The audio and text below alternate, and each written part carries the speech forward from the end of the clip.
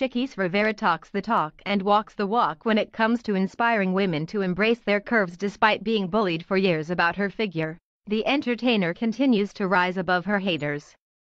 If they thought they would get her to hide and cover up her body, they were wrong. In fact, Chiquis recently posed nude for a feature with Univision. Whoever is upset by this can be upset. I am sorry. This is for me, to inspire other women with my body type, that have this shape and will understand me. It's for us, she told them. Find a part of your body that you love and flaunt it. Chiquis loves showing off her narrow waist in a variety of ways.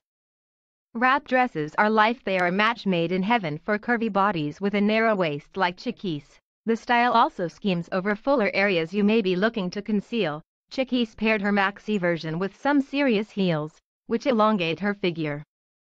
Whether it's a long or mini dress, you can't go wrong with this silhouette wrap dresses look good on everyone and feel so sophisticated.